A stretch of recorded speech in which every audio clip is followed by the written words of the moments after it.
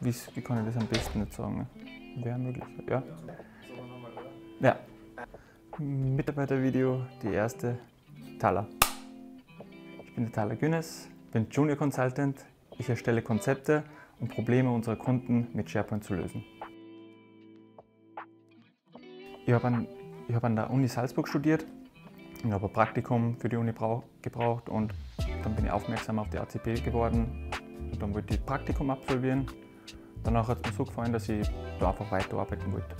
Und was mir gefällt ist, dass jeder jeden hilft. Wir haben auch Inhouse-Trainings, das finde ich eigentlich auch super. Und auch mit Kollegen kann man jederzeit mit, egal mit wem, über welche Themen auch Fragen stellen und auch Hilfe bekommen. Also Kundenanfragen richtig zu verstehen und auch sofort mit Ideen zu kommen. Auch wenn das nicht verlangt ist, kommt es immer besser, dass man gleich eine Idee hat oder weiß, was, was umgesetzt werden kann und was nicht.